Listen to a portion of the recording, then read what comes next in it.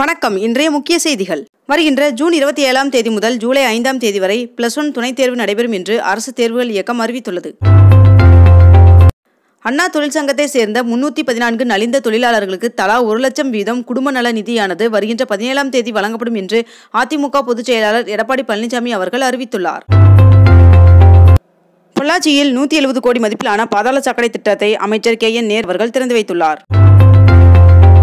தமிழகத்தில் இன்று நீலகிரி கோவை ஈரோடு திருப்பூர் தேனி திண்டுக்கல் தென்காசி திருநெல்வேலி மற்றும் கன்னியாகுமரி ஆகிய மாவட்டங்களில் ஓரிரு இடங்களில் கனமழை பெய்ய வாய்ப்புள்ளதாக வானிலை மையம் தெரிவித்துள்ளது.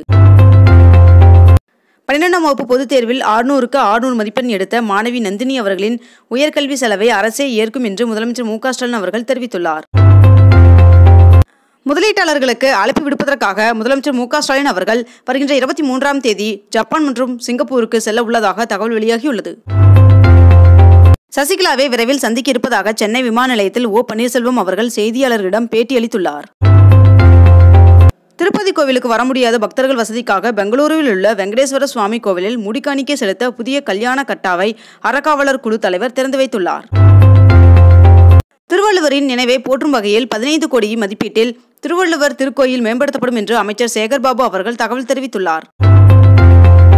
முதலமைச்சர் மு க ஸ்டாலின் அவர்களின் முன்னிலையில் ஜப்பான் நிறுவனத்துடன் புரிந்துணர்வு ஒப்பந்தம் கையெழுத்தாகியுள்ளது.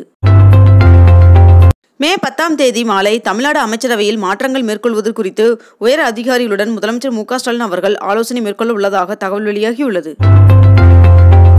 சென்னையில் ஓட்டேரி திருவெற்றியூர் உள்ளிட்ட பகுதிகளில் என்ஐஏ அதிகாரிகள் காலையிலிருந்து திடீர் சோதனையில் ஈடுபட்டு வருகின்றனர். தூய்மை பணியாளர் நலவாரியம் திருத்தி அமைக்கப்படுகிறது என்றும் மேலும் வாரியத்தின் தலைவராக அமைச்சர் கயல்வெளி செல்வராஜ் அவர்கள் நியமிக்கப்பட்டுள்ளார் என்றும் தெரிவிக்கப்பட்டுள்ளது.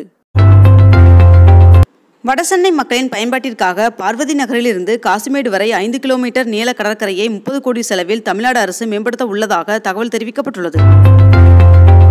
தமிழகத்தில் பன்னிரெண்டாம் வகுப்பு மாணவர்களின் தேர்வு முடிவுகள் நேற்று வெளியாகியுள்ள நிலையில் இன்று முதல் மறுக்கூட்டலுக்கு விண்ணப்பிக்கலாம் என்று தெரிவிக்கப்பட்டுள்ளது. தமிழகத்தில் ரேஷன் கடைகளில் தேங்காய் எண்ணெய் வழங்க அரசு திட்டமிட்டுள்ளதாகவும் இதன் முதற்கட்டமாக கோவை நீலகிரி கன்னியாகுமரி தென்காசி ஆகிய நான்கு மாவட்டங்களில் மட்டும் ரேஷன் கடைகள் மூலம் தேங்காய் எண்ணெய் வழங்க திட்டமிடப்பட்டுள்ளதாகவும் தகவல் வெளியாகியுள்ளது கடந்த நான்கு மாதத்தில் மட்டும் கூகுள் பிளே ஸ்டோரிலிருந்து இருநூத்தி இருபத்தி ஒரு கடன் செயலிகளை கூகுள் நிறுவனம் நீக்கியுள்ளது. பத்து லட்சத்திற்கும் அதிகமான மக்கள் வசிக்கும் மற்றும் மாசடைந்த இந்திய நகரங்களில் டீசலில் இயங்கும் நான்கு சக்கர வாகனங்களுக்கு இரண்டாயிரத்தி இருபத்தி ஏழாம் ஆண்டிற்குள் தடை விதிக்க வேண்டும் என மத்திய பெட்ரோலியம் இயற்கை நிலவாயு அமைச்சகம் அமைத்துள்ள மாற்று எரிசக்தி ஆலோசனைக் குழு பரிந்துரைத்துள்ளது. கரூர் கோவை இடையே தேசிய நெடுஞ்சாலை நான்கு வழிச்சாலை அமைக்க மத்திய அரசிடமிருந்து நிதி பெற்று ஒரு வருடத்திற்குள் நான்கு வழிச்சாலை அமைக்கப்படும் என்று அமைச்சர் ஏவா வேலு அவர்கள் தெரிவித்துள்ளார். போக்குவரத்து துறையில் காலியாக உள்ள பணியிடங்களை நிரப்ப புதிய மென்பொருள் உருவாக்கும் பணி நடைபெற்றுக் கொண்டிருப்பதாக தமிழக போக்குவரத்துறை அமைச்சர் சிவசங்கர் அவர்கள் தெரிவித்துள்ளார்.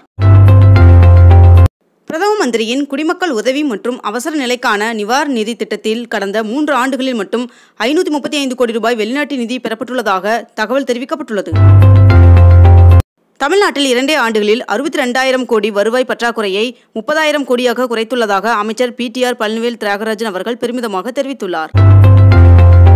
இருபத்தி ரெண்டு கேரட் ஆபரண தங்கத்தின் விலை சவரனுக்கு ஐம்பத்தி ஆறு ரூபாய் அதிகரித்து ஒரு சவரன் நாற்பத்தி ஐயாயிரத்தி எழுநூற்றி முப்பத்தி ஆறு ரூபாய்க்கு விற்பனையாகிறது. அதேபோல் ஒரு கிராம் வெள்ளியின் விலை எண்பத்தி ரெண்டு ரூபாய் ஐம்பது பைசாவாகவும் விற்பனை செய்யப்பட்டு வருகிறது. இத்துடன் இன்றைய தலைப்புச் செய்திகள் நிறைவடைகின்றன.